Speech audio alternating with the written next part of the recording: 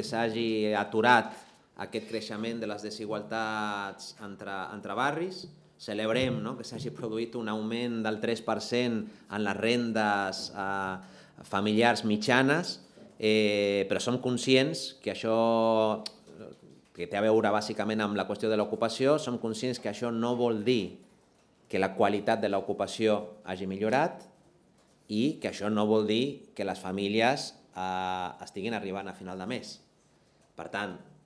celebrem aquestes dades i estem treballant per millorar la qualitat de l'ocupació, és a dir, que ens reafirma que l'estratègia d'ocupació del govern, que és millorar la qualitat de l'ocupació, és una estratègia correcta, combatre la precarització, la bretxa salarial entre homes i dones, lluitar per un salari mínim de ciutat, que això és correcte, i per reforçar, naturalment, les rendes que no estan estrictament vinculades a l'ocupació.